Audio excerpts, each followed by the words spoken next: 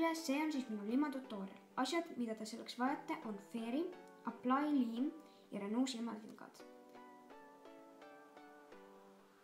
ma võtsin siis gaaži ja panin sinna sisse liimi ja sinna liimi hulka ma panin Fairyt.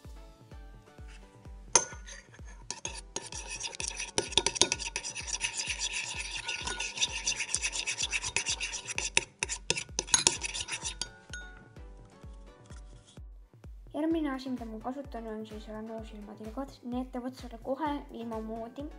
Ja see muutub ka vähem kleepuvamaks, nagu te näete, see töötab väga kiiresti.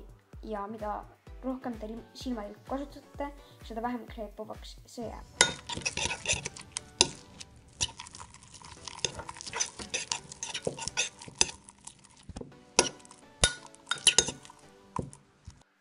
Niisiis, selline on siis minu lima algselt, aga ma otsustasin seda värvida.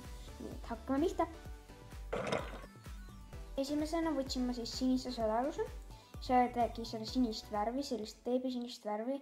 mulle väga meeldib see värv, aga mul juba üks on selline lima, nii et ma otsustasin seda veel muuta.